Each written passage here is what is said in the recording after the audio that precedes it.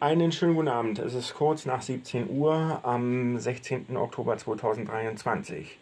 Heute bin ich eingeführt worden oder eingenommen worden in das sogenannte Blindenwohnzimmer einer WhatsApp-Gruppe, die für Blinde explizit gemacht ist.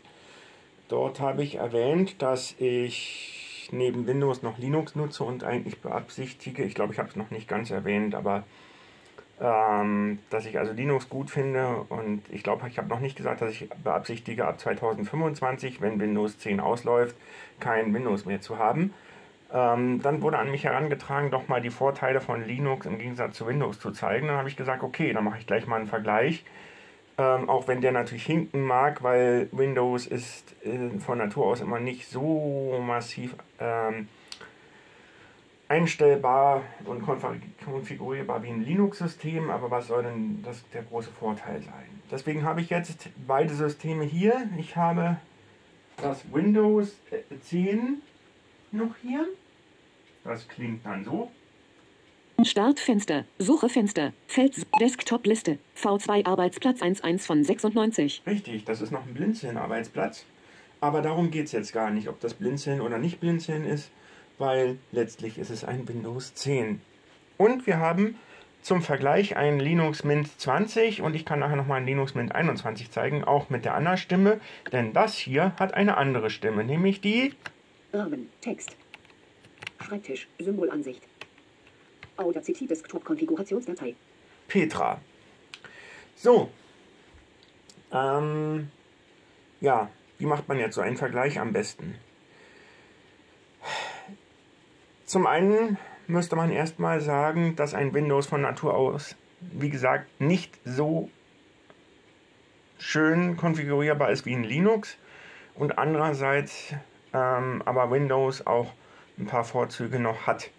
Die Vorzüge des Windows gleich mal vorneweg, deswegen habe ich immer jahrelang gesagt, äh, für mich ist ideal, ein Windows und ein Linux parallel zu haben, denn die Texterkennung, die die Blinden ganz oft brauchen, und das wird sich auch nicht ändern, es sei denn, sie nutzen ein Smartphone, das ist immer die bessere OCR unter Windows. Immer. Ähm, es gibt OCR auch unter Linux Texterkennung, aber die ist bei weitem nie so weitergetrieben worden wie vorangetrieben worden, wie es bei Windows der Fall war und immer noch ist. Ähm, wer aber ein Smartphone nimmt und das damit macht, dem dürfte das mit dem Windows irgendwann völlig egal sein. Ähm, ich kenne auch schon einen, der per Tour auf Mobilgeräte umgestiegen ist und gar keinen Rechner mehr hat. Zwei kenne ich eigentlich mittlerweile schon. Einen aus Hamburg und einen aus Manschnow. Den aus Manschnow kennt man aus der Blindenwohnzimmergruppe, das ist der Sven. Und ich bewege mich auf großen Schritten auch dorthin, dass ich kein Windows mehr habe. Gut, noch ist es aber nicht so weit. Ich kann noch den Vergleich bringen und ich kann sogar noch ein ähm, paar Sachen einstellen mit euch auf dem anderen Linux-Betriebssystem, was auf lange Sicht dann äh, mein irgendwann mein Erstsystem wird, wenn das Linux Mint 21, was bis 2025 unterstützt wird, noch ausläuft. Dann habe ich noch ein Linux Mint 21, das läuft noch bis 2027. Also habe ich dann noch zwei Jahre mehr. Gut, also wir sind jetzt erstmal hier bei der Petra ähm, und der Anna. Im Windows habe ich also die Anna im NVDA drin.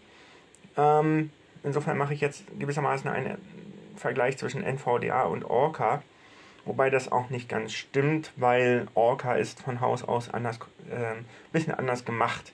Weil ähm, ich habe mh, hm, hauptsächlich das Ganze ein, im Einsatz, wenn ich auf Webseiten bin oder im E-Mail-Client. Ähm, wesentlich mehr mache ich dann auch nicht mehr. Manchmal streame ich mir noch was auf dem Google Home, aber das kommt auch nicht so häufig vor, weil ich immer noch das Smartphone mit dem Google Home verbinden kann.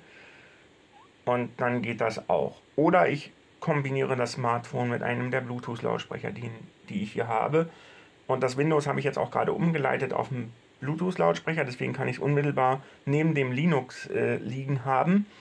Und wir fangen jetzt mal einfach an mit Theorie erstmal.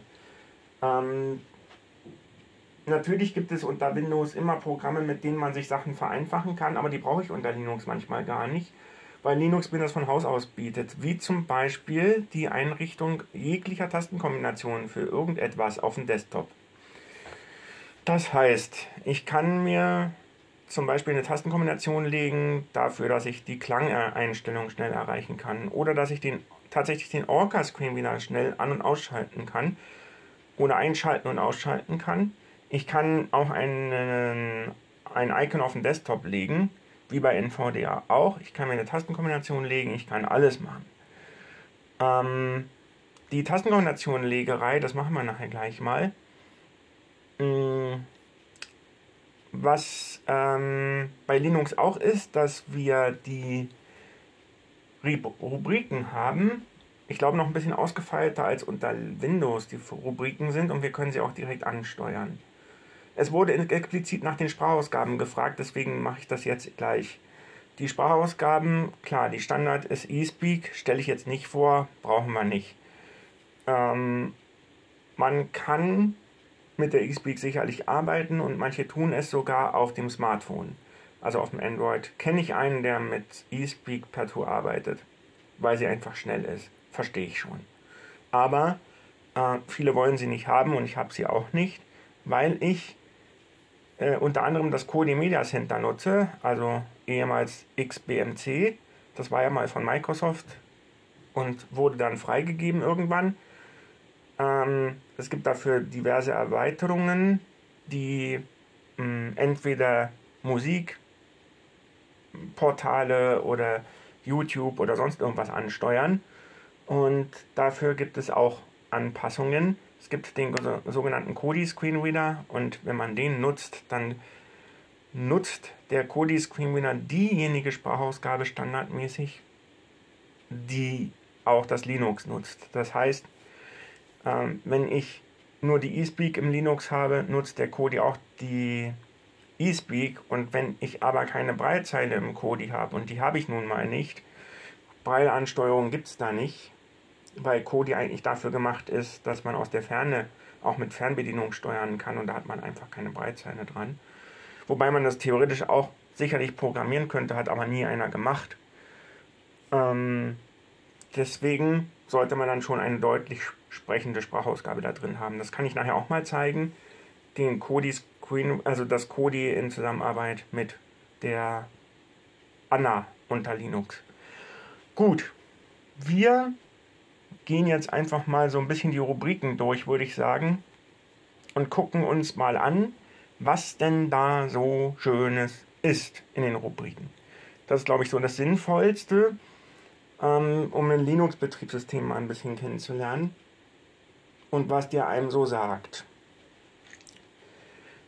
Ähm, wenn wir schon bei Sprachausgaben sind, können wir die Breitzeilen noch kurz besprechen. Es gibt eine Menge Breitzeilen, die von dem Breittreiber unter Linux, der gleichzeitig der Konsolen-Screenreader ist, angesteuert werden können. Das sind viele von Papenmeier, das sind Zeilen von ähm, Handy, Helptech heutzutage, damals früher Handytech.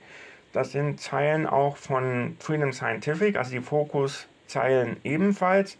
Das ist die Mantis ähm, Mantis, Mantis Q40, die ist relativ neu. Ist ein ziemliches Flaggschiff. Ja, äh, kann ziemlich viel. Und ja, diverse andere Dinge noch. Hm, ich habe damit sogar schon Baumzeilen angesteuert. Ich habe also Baumzäule habe ich damit angesteuert. Ich habe damit angesteuert eine Pappenmeier, die habe ich jetzt gerade dran. Pappenmeier habe ich hier dran. Steuerung links. Ähm, Rahmen, Tech, Schreibtisch, so. Audacity Desktop Konfigurationsdatei. Kaya Anwendung Schreibtisch Rahmen. Ähm, zur Breidarstellung kann ich am Ende mal was sagen. Das kann man ähm, jetzt nicht wirklich vorführen, weil ich nicht über die Sprachausgabe das ausgeben lassen kann, was auf der Breitzeile steht.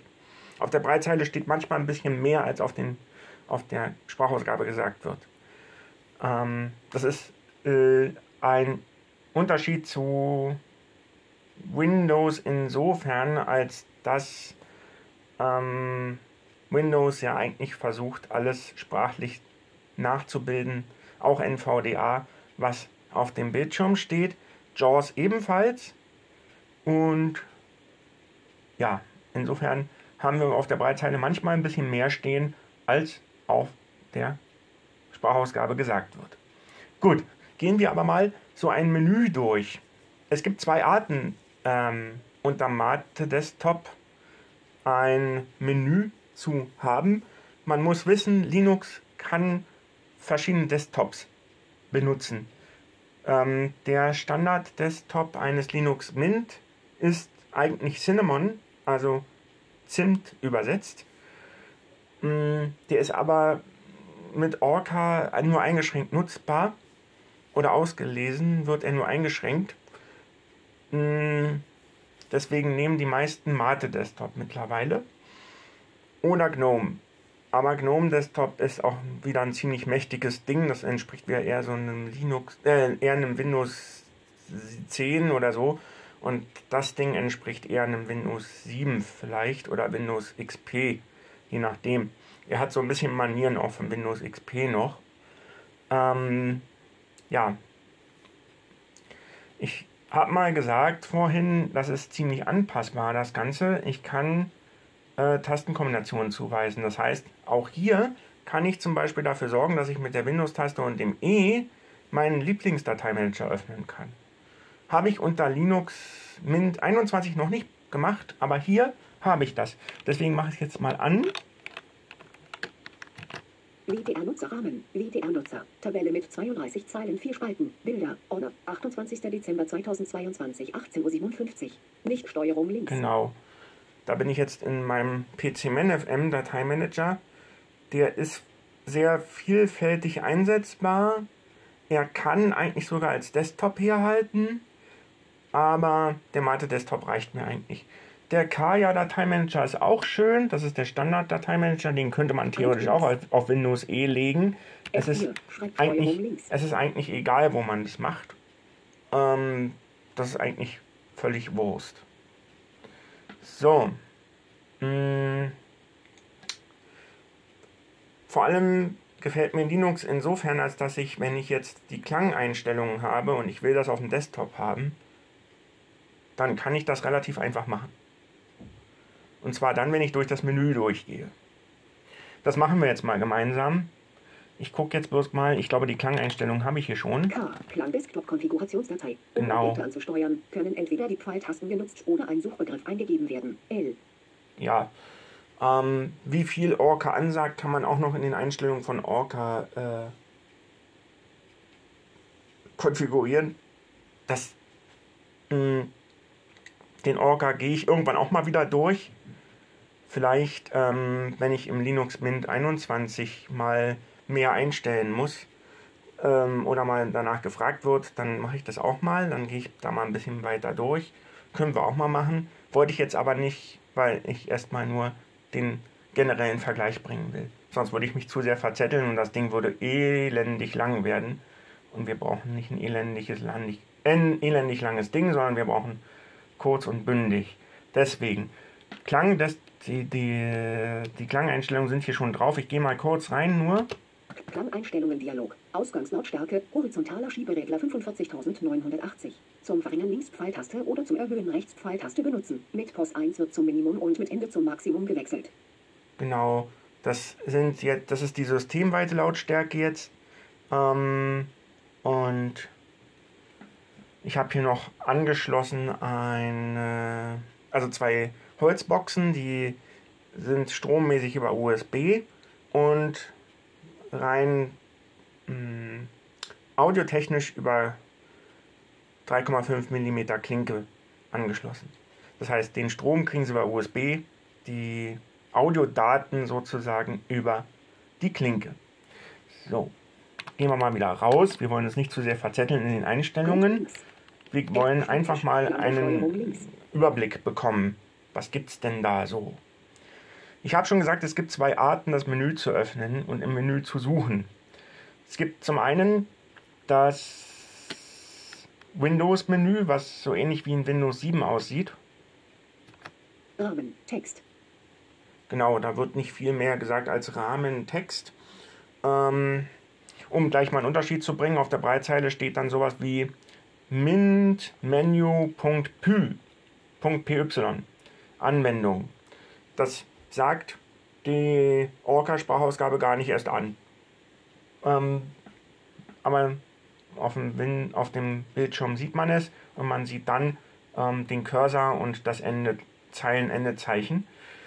Ähm, dann kann man hier auch Programme suchen. Wenn ich jetzt sage, weiß ich nicht, Web, vielleicht mache ich mal was mit Web. B, B, Brave Internetzugriff Druckknopf. Brave Internetzugriff steht hier. Chromium Webbrowser Internetzugriff Druckknopf. Genau, dann zeigt er mir an, nach unten weggehend, was er hier so hat. Chromium. Brave in Chromium Webbrowser Falcon ein schneller und sicherer Webbrowser Druckknopf. Falcon, Falcon, ja. Firefox Webbrowser im Internet surfen Druckknopf. Da sagt er auch was. Genau. Ähm, das heißt, ich kann hier auch Suchbegriffe eingeben, so ähnlich wie unter Windows auch. Ähm, Alt links. Manchmal muss man da auch ein bisschen suchen oder probieren, was man eingeben kann. Wenn er nichts findet, findet er nichts. Dann sagt er den Rechner nach dem und dem Begriff, den man gerade eingegeben hat, suchen. Dann weiß man, aha, er hat jetzt in den Einstellungen oder in den Apps oder Anwendungen oder was weiß ich nichts gefunden. Man kann aber auch mit Alt F1, das ist ein ganz alter Brauch und ganz alte Möglichkeit, ähm, die Rubriken durchgucken. Wir gucken erstmal nur die Rubriken uns an. Was gibt's denn da? Menü. Links und rechts Pfeiltasten zum Navigieren benutzen, um sich durch die Menüpunkte zu bewegen. Hoch- und Runter-Taste verwenden. Genau, links und rechts äh, steuert quasi in die Untermenüs und nach oben und nach unten innerhalb derselben Menüebene. Wir sind in der hö- höchsten Ebene sozusagen und schalten jetzt mal durch. Büromenü. Büro. Mhm. Dann, Chromium Apps Menü. Das sind die Chromium-Apps. Wenn man sich Sachen auf den Desktop einfach legt mit Chromium, dann macht er sogenannte Web-Apps draus. Ähm, wie man das macht, habe ich irgendwann mal in einem Video gezeigt. Kann ich irgendwann nochmal wiederholen, ist nicht schlimm. Grafikmenü. Grafik, da sind Programme drin. Internetmenü. Internet, ja. Sonstige Menü. Sonstige, ja. Systemwerkzeuge Menü. Systemwerkzeuge, da sind dann so Dateimanager und so ein Zeug drin. Ton- und Videomenü. Ton und Video, da findet man dann, äh, wenn man einen VLC installiert hat, ein VLC. Da findet man ähm, den Celluloid. Celluloid ist der Standard Video- und Audioplayer unter Linux Mint Mate. Zubehörmenü. Zubehör, da sind auch nochmal Sachen, Dateiverwaltung und sowas drin. Orte-Menü. Orte, das sind ähm, alle angeschlossenen Geräte und die Festplatten und sowas alles, auch die internen Festplatten. Systemmenü. System teilt sich dann auch nochmal auf in Einstellungen und Geräte und sowas. Bildschirmsperren. Zum Aktivieren die Eingabe. Bildschirm sperren, ja, das kann man auch nochmal über eine Tastenkombination erreichen, aber der ist hier auch drin, Bildschirmsperre. WDR-Nutzer abmelden. Dann, dass man den Benutzer abmeldet und Herunterfahren. herunterfahren. Wobei ähm, herunterfahren jetzt nicht heißt, dass es nur herunterfahren ist, da sind noch ein paar andere Sachen mit drin. Gut. Ähm, ich will jetzt nicht alle Programme durchgehen, ich will einfach nur mal zeigen, was man bei Herunterfahren zum Beispiel so machen kann. Alarm. Möchten Sie den Rechner jetzt herunterfahren? Nein, will ich nicht. Ich kann nach links Druckknopf. gehen. Abbrechen, Druckknopf. Abbrechen, Neustarten, Druckknopf. neu starten, Bereitschaft, Druckknopf. Bereitschaft und, und das war's. Der zählt jetzt äh, runter eine Weile, ich glaube ein paar 60 Sekunden und dann schaltet er sich selber aus. Wenn ich jetzt nichts machen würde, ich mache mal Escape, damit ich wieder rauskomme. Und äh, exemplarisch gehe ich mal über Ton und Video. Ich glaube, das ist so das, was sich ein Blinder am ehesten vorstellen kann, gerade die Audioprogramme. So, deswegen gehen wir mal in Ton und Video. Menü. Link und Bild- Bildschirmsystem, Orte-Menü. Zubehör mit Ton- und Videomenü. Gehen dann nach rechts. Abtool. Zum Aktivieren die Eingabetaste. AB-Tool ist ein Programm zum Erstellen von Audiobooks mit Hilfe von, ich glaube, Embrola-Stimmen. Audacious. Audacious ist ein reiner Audioplayer, der ein bisschen aussieht und so ein bisschen arbeitet wie der Fuba 2000 unter Windows. Ähm, da sind die Playlisten relativ gut anpassbar und ähm, gut editierbar auch. Habe ich zwar nicht lange nicht mehr gemacht, aber geht. relativ gut. Audacity. Audacity kennt man unter Windows auch. Das gibt es unter Linux auch. Ähm, ich benutze es allerdings eher, um das, was aus der Soundkarte rauskommt, aufzunehmen. Gar nicht mal so sehr für einen Mikrofonanschluss, kann man auch, aber ich nutze es eher für den eh guten alten Stereo-Mix, der hier ein bisschen anders heißt und immer wieder und immer da ist. Also unter Windows ist es ja manchmal mit dem Stereo-Mix ein bisschen knifflig. Da muss man dann mit solchen Sachen arbeiten wie Virtual Audio Cable und so. Braucht man hier alles nicht. Kann man aber irgendwann mal vorführen, wenn es ähm, oder zur Wiederholung oder wenn es gewünscht wird äh, von jemandem. Gut, dann Brasero. Brasero ist ein Brennprogramm.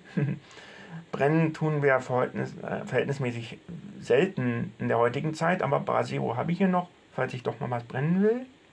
Celluloid. Celluloid hatte ich schon angesprochen. Das ist dieser Standard Audio Player äh, und Videoplayer, also Audio und Video spielt da ab. Ähm, Im Mate Desktop. Exfalso. Exfalso ist ein ID3-Tech-Editor für MP3-Dateien. Ob er noch andere kann, weiß ich gar nicht. Ich nutze es hauptsächlich, wenn überhaupt, für MP3-Dateien und man kann es stapelweise auch machen. Wenn ich jetzt also sage, okay, ich ähm, will mehrere Dateien gleichzeitig taggen, dann sage ich dem, dass der möglichst alle Dateien mit dem gleichen Albumtitel oder sowas taggen soll. Ähm, und das kann ich relativ gut machen. Ich mache es zwar selten, aber ich habe ihn hier. Good Vibes. Good Vibes ist ein Internetradioprogramm, ähm, was einerseits eigene Sender hat und andererseits auch anpassbar ist. Ich habe es aber lange nicht mehr benutzt. Ich glaube, ich habe es sogar hier über ähm, nicht die Standardpaketverwaltung installiert, sondern über ähm, Flatpak, aber ist ja egal, also installiert habe ich es erstmal. Wie man hier Sachen installiert, darüber kann man auch nochmal reden, mache ich jetzt aber nicht, weil ich eigentlich nur erstmal Sachen vorstellen will. Helm. Helm ist ein Synthesizer, den man nutzen kann für ja, Musik machen, zum Musik machen. Und da kann man die, die PC-Tastatur nehmen. Ob der jetzt auch einen MIDI-Controller schluckt und nimmt, weiß ich nicht, habe ich noch nicht ausprobiert. Das Ding gibt es unter Windows, unter Linux, ähm, unter Mac weiß ich jetzt nicht, aber es gibt ebenfalls den Helm als Synthesizer. Äh, unter Linux ist er so ein bisschen knifflig, weil er gar nicht ausgelesen wird eigentlich. Aber man kann durchtappen und Enter drücken und gucken und merken, dass da was passiert oder auch nichts passiert, ob sich was ändert oder nicht. Wer hell-dunkel noch unterscheiden kann oder irgendwie Rest-Serest hat, kann da vielleicht noch ein bisschen mehr machen. Gut. Hypnotix. Hypnotix ist ähm, ein IPTV-Programm, mit dem man ja frei verfügbare oder wie auch immer Fernsehsender gucken kann. Es sind äh, diverse Sender schon integriert und man kann natürlich auch eigene M3U8 Playlisten oder M3U-Listen einpflegen. Äh, ist sozusagen der kleine Kodi, wenn man so will, aber kein richtiges Media Center, sondern wirklich nur ein Internet-TV-Programm. Klang. Klang sind die Klangeinstellungen, wo wir schon drin waren. Klangumwandler. Klangumwandler ist ein relativ mächtiges Umwandlungsprogramm von allen möglichen Arten von, äh, was, was weiß ich, MP4 nach MP3, ähm, von Wave nach MP3, da kann man alles Mögliche umwandeln. MHW Edit. MHWave Edit ist ein schönes, kleines ähm, Audioschneideprogramm und eigentlich auch Aufnahmeprogramm. Hat sich seit einiger Zeit, seit 2018, glaube ich, nicht mehr weiterentwickelt, aber kann trotzdem ziemlich viel und wird immer noch durch die Ubuntu-Gemeinschaft gepflegt, also eingepflegt und weitergeschleift von Version zu Version. MPV Media Player. MPV Media Player ist auch ein Player halt. Rhythmbox. Rhythmbox ist auch ein Standard-Player, den es schon lange unter Linux gibt, der sehr vieles kann, der auch Podcast abspielen kann, mehr oder weniger zuverlässig. Ich habe es lange nicht mehr ausprobiert. Videos.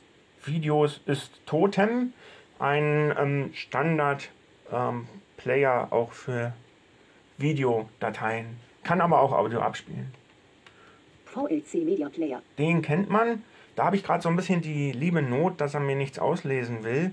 Ich will äh, mal irgendwann testen, was unter Linux Mint 21 passiert. Also der unter Linux Mint 20 will er mir da nichts mehr auslesen. Es ist 17 Uhr und 30 Minuten. Genau, das ist die Uranwendung vom NVDA von Windows.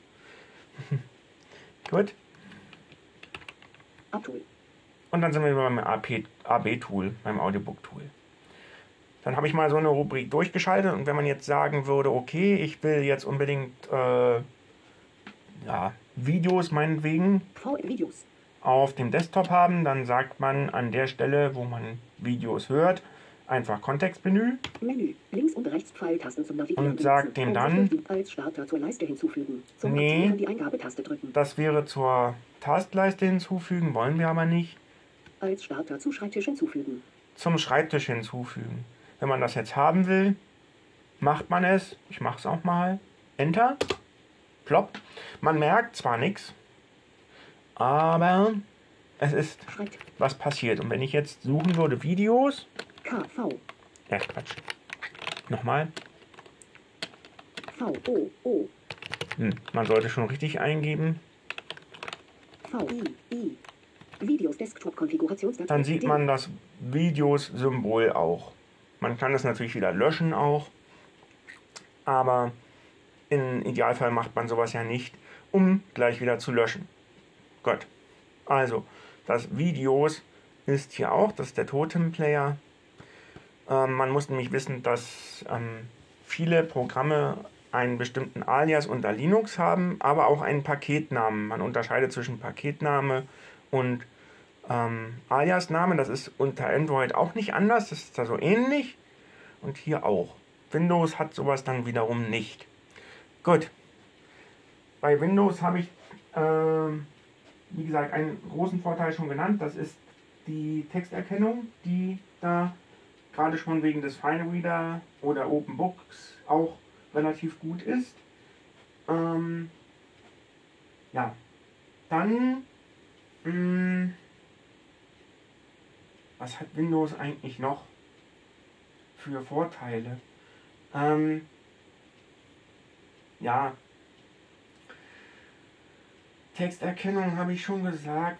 Ähm, was er auch ein bisschen besser hat, ist WhatsApp-Anbindung.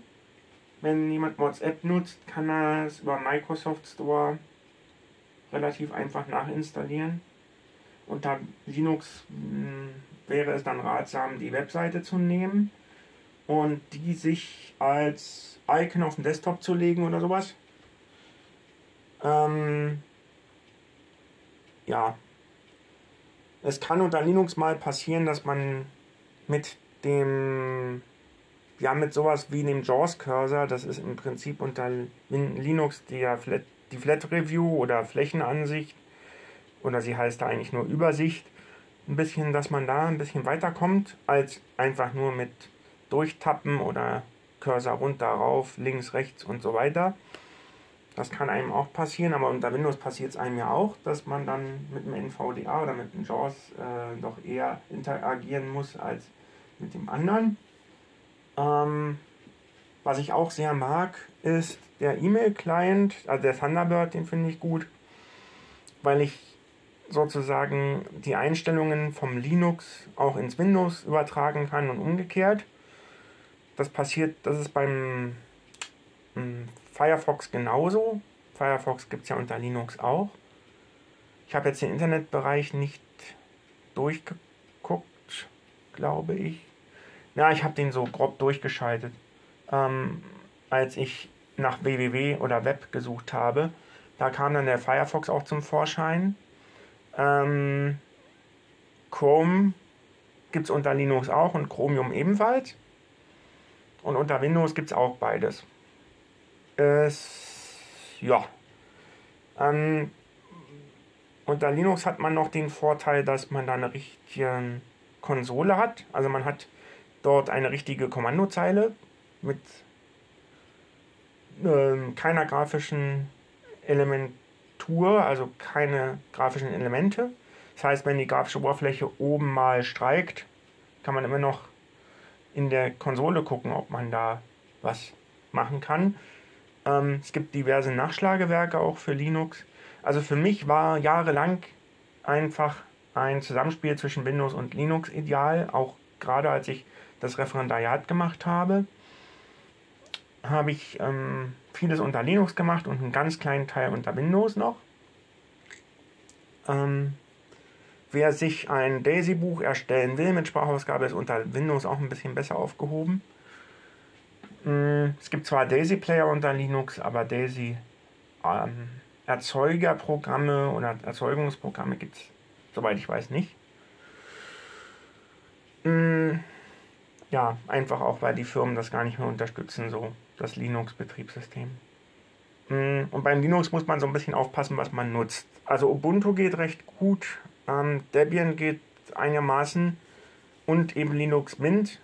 Also Linux Mint, Ubuntu ähm, und Debian sind so die drei Systeme, die die Leute so nutzen in der blinden Community, die ich weltweit sehe.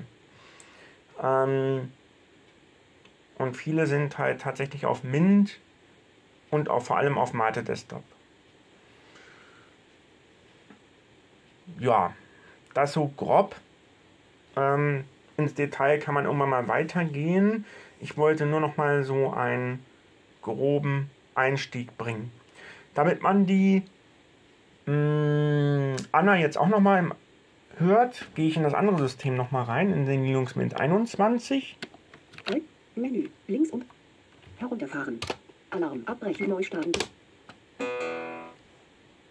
Ja, jetzt hat, hat jemand bestimmt von euch dieses Ding Dong gehört. Das ist der ähm, Alternativ-Screen wieder unter, ähm, unter der Konsole.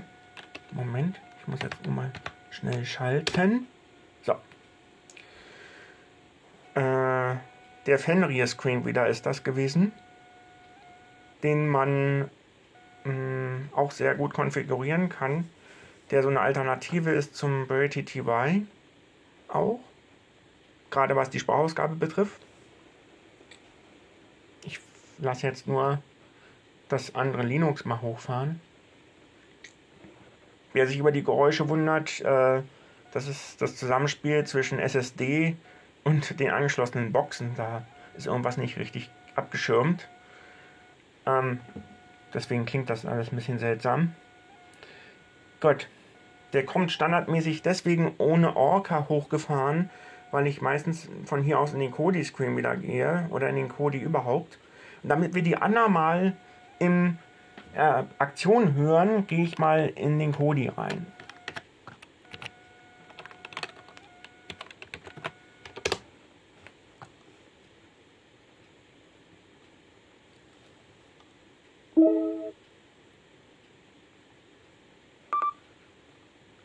Fenster, Hauptmenü, Punktfenster, OK-Dialog, Extreme Support Informationen. Ihr Internetanbieter zensiert Ihren Internetzugang. Um sich vor der Zensur zu schützen, empfehlen wir euren DNS-Server auf die von Google 8,8 Fenster, Hauptmenü, Punkt, 9 Elemente, TV.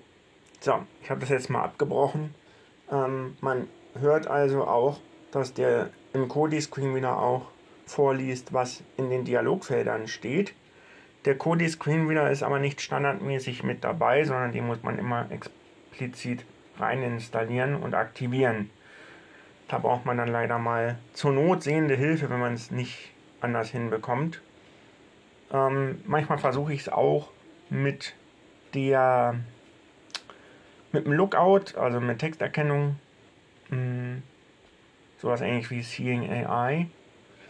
Ähm, was ich sehr interessant finde, ist, da, ich habe jetzt gerade den Orca nicht an unter Linux, aber ich sehe trotzdem auf der Breitseite das Wort Kodi, dass ich im Kodi bin. Wie der das hinkriegt im Linux Mint 21, das fasziniert mich irgendwie. Aber gut. Ähm, ich schalte jetzt mal durch den Kodi, um mal die Anna euch zu zeigen. Xtriam, Dokus, Music, Radiostube, Xtriam, YouTube. Genau. Ähm, ich gehe mal in das Ausschaltmenü. Fenster, Ausschaltmenü. Verlassen. Ausschalten. Benutzerdefinierter Ausschalttimer. Bereitschaft. Neustart. Einstellungen. Genau, also hier kommt die relativ Fenster, deutlich. Hauptmenü. Punkt. 9 Elemente. YouTube. Genau. Und diese Voxin-Stimmen kann man halt bei uralux.org kaufen. Früher gab es auch die IBM-Stimmen, aber die gibt es mittlerweile nicht mehr. Die haben sich jetzt hauptsächlich auf die Vocalizer fixiert. Und je nachdem, welche Qualität man kauf, kauft, also Compact oder High, also hochqualitativ, kostet das eben so maximal 30 Euro, also nur ein paar 29 Euro oder irgendwas. Ähm, ist dafür, dass die Stimmen unter Linux, äh, unter Windows viel teurer sind, eigentlich fast nichts. Das Ding ist nur, man muss es mit ähm, PayPal machen oder mit irgendwas. Man kann es leider nicht mit Lastschrift oder Bankeinzug oder irgend sowas. Da geht es leider nicht. Na gut, ähm, das nur mal, um die Anna in, Anzug, in, in Aktion zu sehen. Fenster, Ausschaltmenü. Skin neu laden. Einstellungen. Neubereitschaft. Neustart. Mm, ja. Ich gehe mal raus, ob Bereit benutzt ausschalten. Verlassen. ich gehe Fenster. mal verlassen. Ich gehe mal aus dem Ding raus, verlasse das Ding mal und starte den Orca mal.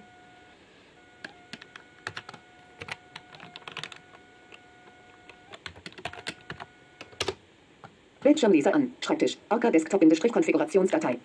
Steuerung links.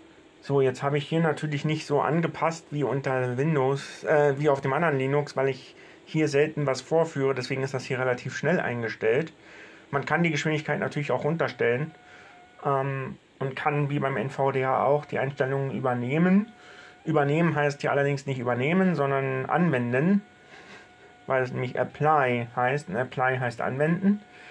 Hier wird alles eigentlich relativ äh, wörtlich übersetzt, so auch nicht Desktop, sondern Schreibtisch, wie wir schon hören. Ähm, genau. Ähm, ja, das ist, glaube ich, so grob das, was man hier hat. Ich habe hier auch schon so ein paar Icons drauf liegen. Mm.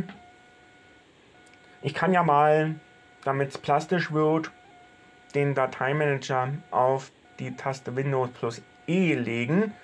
Das habe ich hier nämlich noch nicht gemacht und dann zeige ich das mal, wie man das hier macht. Tastenkombination. Ich glaube, ich habe für die Tastenkombination das Icon hier noch nicht drauf. Deswegen suche ich jetzt mal in dem Linux-eigenen Menü hier und mit dem mit der Windows-Taste. Rahmen. Text. Rahmentext kennen wir schon aus dem Linux Mint 20. Jetzt sind wir also im Textfeld und da schreibe ich dann mal Tastenkombinationen. T. A. A. S. A. T. E. Ten. K.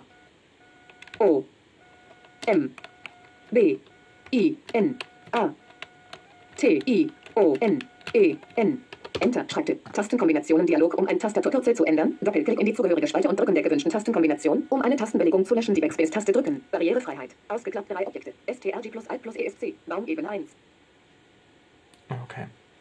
Gut. Ich mache mal eine neue Tastenkombination. Windows E haben wir hier nämlich noch nicht. So, also machen wir jetzt folgendes. Wir machen eine neue Tastenkombination, tappen mal durch. TAP. Hilfedruckknopf. TAP. Hinzufügen Druckknopf. Hinzufügen steht hier. Na dann, Leerzeichen. Individuelle Tastenkombination Dialog. Name Doppelpunkt. Text. Name. Dort beschreibt man eigentlich, was man, wie man das Ding nennen will. Ich sage dann irgendwie meistens das und das Programm starten oder so.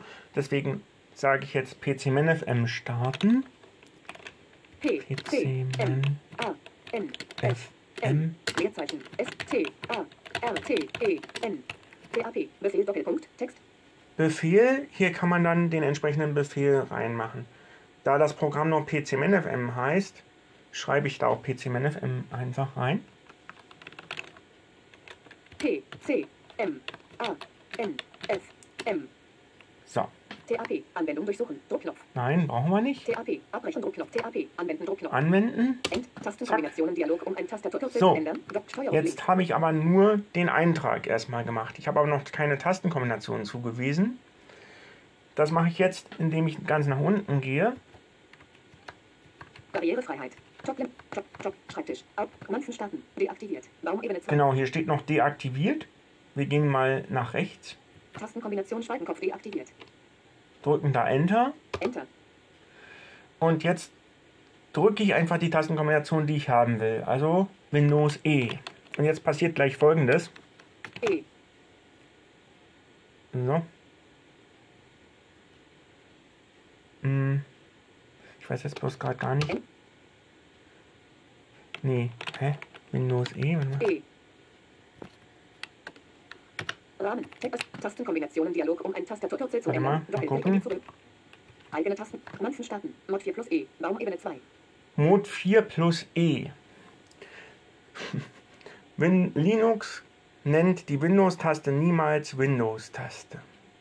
Niemals. Und ähm, vor allem sollte man, nachdem man die Tastenkombination eingedrückt hat, einfach mal kurz aus dem Menü rausgehen. Also ich habe es jetzt mit der Windows-Taste gemacht und dann wieder rein. Unter Orca funktioniert das anders. Wenn ich da eine Tastenkombination drücke, die ich haben will, dann sagt der aufgezeichnete Tastenkombination äh, ist die und die. Irgendwie drücken Sie Enter, um das zu bestätigen oder so. Das macht der hier nicht. So, Windows E heißt ja also Mode 4 plus E. Ähm, wer Linux-Literatur liest, wird für die Windows-Taste noch eine andere Bezeichnung finden. Das ist dann die Super-Taste. Aber nicht, weil sie so super ist, sondern weil sie sich unterscheiden soll vom Windows und trotzdem benutzbar sein soll. So, sie ist nicht so super, sondern sie ist einfach, sie heißt so. Ähm, TAP. Hilfe Druckknopf. TAP. Hinzufügen Druck. TAP. Entfernen Druck. TAP. Schließen Druckknopf. Schließen. Schreibtisch. so, und jetzt drücke ich mal Windows E und guck mal, ob das passiert, was ich passieren, was passieren soll. Tabelle mit 60 Zeilen, 4 Spalten. Punkt Cache. Ordner. 014.2023 12 Doppelpunkt 29. Nicht ausgewählt. Genau. Hm. Cache-Ordner, bla bla bla, okay. Ich guck mal, ob wir auch im PCMNFM sind, indem wir einfach über Hilfe reingehen. Aha. Hilfe Menü. Über. Tastatur Navigation. Über.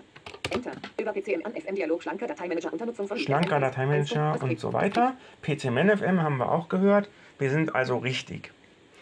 So, mehr mache ich jetzt für heute nicht, weil sonst müsste ich tiefer ins System eingreifen und sagen, ähm, die Ansagen kommen deshalb und warum und wieso und weshalb und dann, damit man die und warum man die und die Sachen jetzt gerade angezeigt bekommt und so, das machen wir jetzt mal noch nicht. Wir wollten nur mal einen Vergleich haben. Ähm, verschiedene Dateimanager kann ich übrigens unter Windows auch haben, mal davon abgesehen. Ich kann das trotzdem haben. Ich mache mal den Orca hier wieder aus. Ähm, Bildschirmleser aus. Genau. Habe ich auch mal eine Tastenkombination festgelegt. Mm, Im Prinzip die gleiche, die NVDA auch hat. Und ich gehe gleich auch wieder ins andere System, sonst habe ich keinen WLAN, weil ich äh, das WLAN hier über Hotspot laufen lasse, weil ich der Einzige bin, der WLAN nutzt in der Familie. Gut. Ich werde ja auch irgendwann mal auf dem anderen Linux ein Hot WLAN einrichten müssen, WLAN-Hotspot. Wenn das Linux mit 21 äh, dann aktuell wird sozusagen und das Linux Mint 20 ausläuft. Ähm, während wir ins andere System fahren, mal kurz noch ein Wort. Wie komme ich eigentlich an ein Linux-System ran? Das ist vielleicht die Hauptfrage für jemanden, der das Ding noch gar nicht hat. Mm. Es gibt eine Seite, die sammelt alle möglichen Linux-Betriebssysteme auf und verlinkt die. Das ist distrowatch.org, glaube ich. Also distrowatch heißt das Ding auf jeden Fall.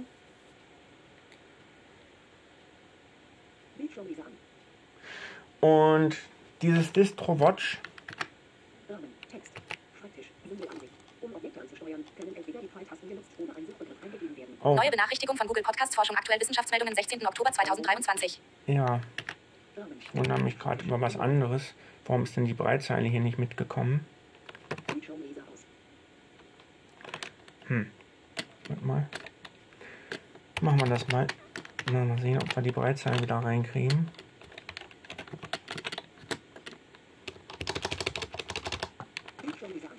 Ah. Jetzt. Ich habe den Bildschirmleser einfach nochmal neu gestartet und jetzt ist die Breitzeile mitgekommen. Das passiert manchmal. Mm. Okay. Gut.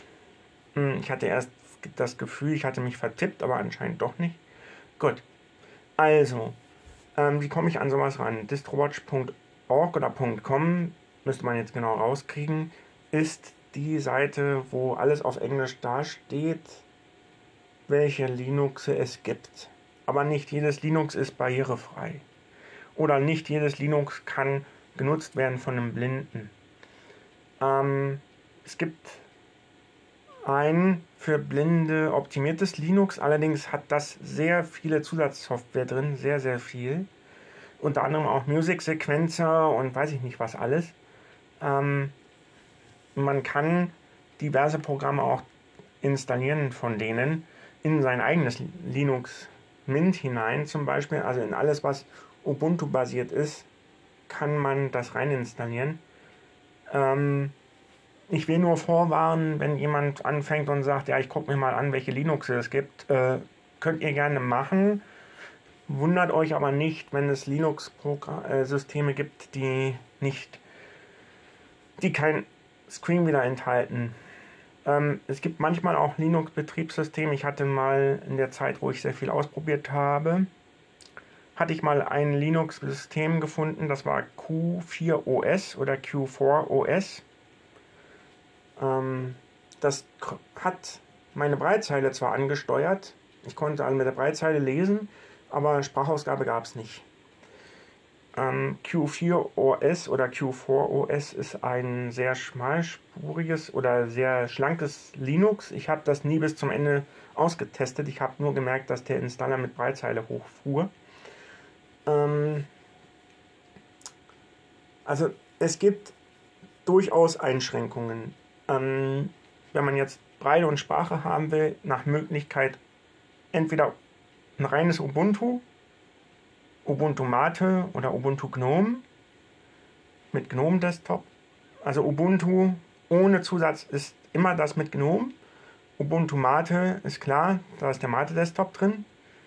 Und Linux Mint hat auch mh, mehrere Arten. Da gibt es Linux Mint mit Cinnamon Desktop. Der ist nicht zu empfehlen. Mit Mate gibt es. Ähm, und mit KDE, glaube ich. Und Linux Mint Debian gibt es noch, LMDE. Ähm, aber Linux Mint Debian, da bin ich mal nicht glücklich geworden mit, aber das muss nichts heißen. Der ist eigentlich durchinstalliert äh, gewesen, aber das Updaten hat dann Probleme gemacht. Ähm, aber gut. Also, man kann sich durchprobieren. Man kann sich auch mit virtuellen Maschinen durchprobieren, wer das machen will.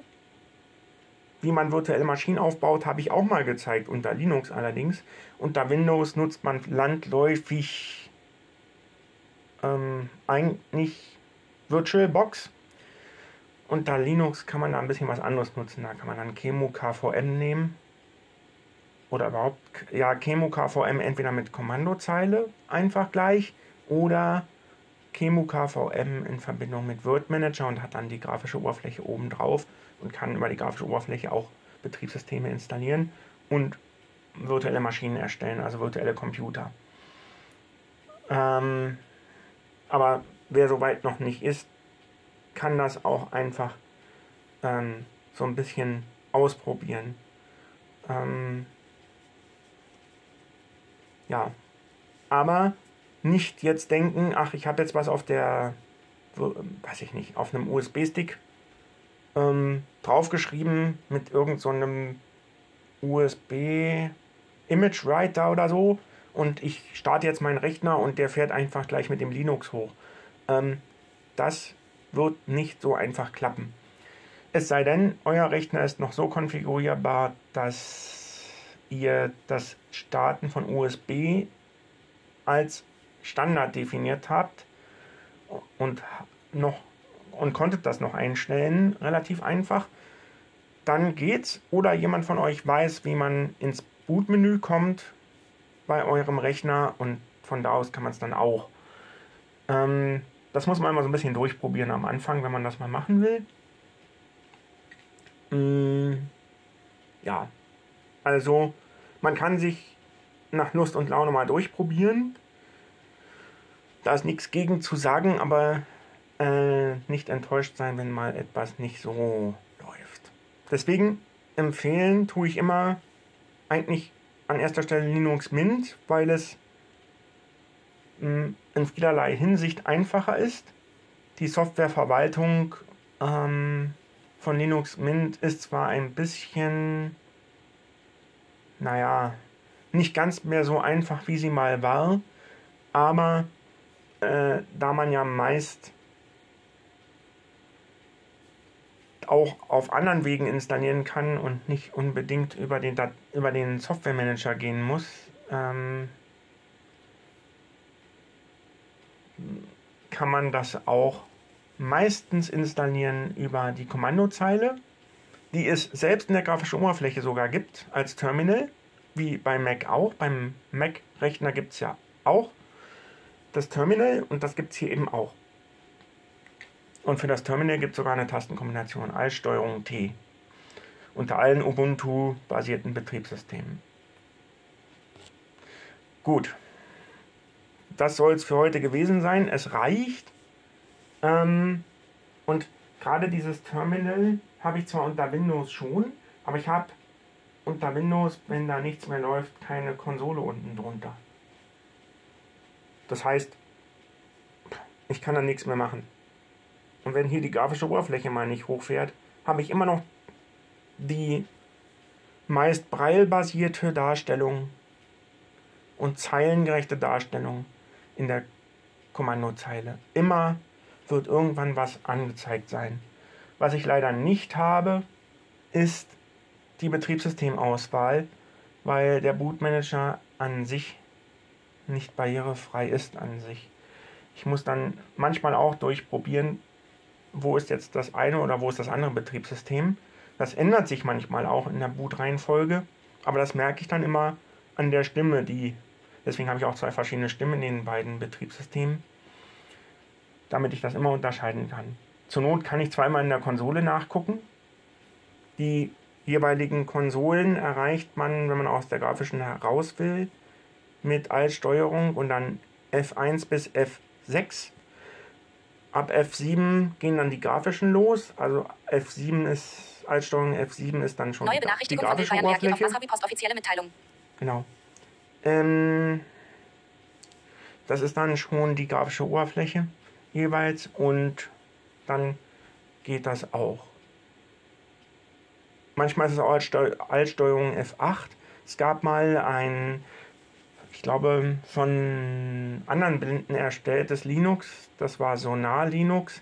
Da gab es sogar zwei grafische Oberflächen. Die sind dann auf Altsteuerung F7 und Altsteuerung F8 gewesen. Zwei verschiedene. Das war auch sehr lustig. Ähm, aber gut. Ja, so viel dazu erstmal. Wir können ja vielleicht irgendwann mal einen Schritt weitergehen noch. Das gleiche kommt äh, bei mir nochmal ins YouTube hinein. Und ähm, ich habe jetzt bewusst nicht so am Windows so viel vorgeführt, weil es mir eher um das Linux ging. Natürlich kann ich im Windows genauso suchen mit ähm, Suchbefehlen, aber mh, mm, und ich kann auch Sachen auf den Desktop legen, sicher, und auch Einstellungen, aber das Ganze ist nicht so einfach, weil man da immer ähm, Befehle sich raussuchen muss, dass man mal Befehle auch für Linux raussuchen muss aus dem Internet, kommt auch vor, natürlich. Ja, ist jetzt nicht so, dass man da äh, nie was raussuchen muss, um Gottes Willen. Aber äh, hier muss man es doch eher. Startfenster, Suche für Desktop-Liste, V2 Arbeitsplatz 11 von 96. Bildschirmleser Autodesktop-Konfigurationsdatei. 4 und Kamera, Ausgewählt EV ausgewählt. Vorschau hintere Kamera. Ausgewählt. 1 Belichtungskorrektur. 1 ISO-Empfindlichkeit. 1 Verschlusszeit. 1 Schärfe Auto. Ausgewählt Wege. 1 Weißabgleich. Histprogramm zum Aktiv. 55. Leitmodus. Ausschalten. Schießen Sie ein Foto. Pause zum Aktivieren doppelt. Auslöser.